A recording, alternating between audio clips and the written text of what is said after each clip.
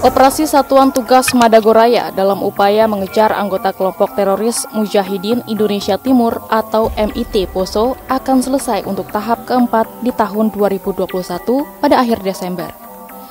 Di mana pasukan gabungan TNI dan Polri hingga kini masih mengejar sisa mereka yang masuk dalam daftar pencarian orang atau DPO.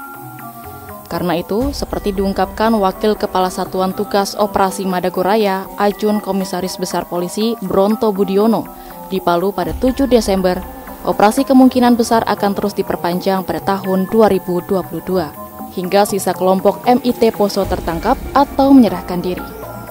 Saat ini Satgas Madagoraya Tengah memfokuskan kerja dalam bidang sosialisasi dan imbauan kepada seluruh warga yang ada di wilayah operasi agar mereka tidak terpapar paham radikalisme atau membantu suplai makanan maupun lainnya kepada MIT Poso.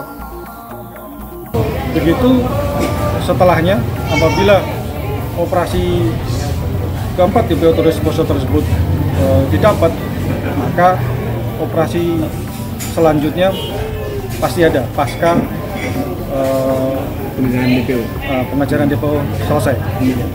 Hingga saat ini masih tersisa empat orang anggota MIT Poso yang masuk dalam DPO, yaitu Askar alias Jahit alias Pak Guru, Nae alias Galuh alias Muklas, Suhardin alias Hasan Pranata, dan Ahmad Ghazali alias Ahmad Panjang.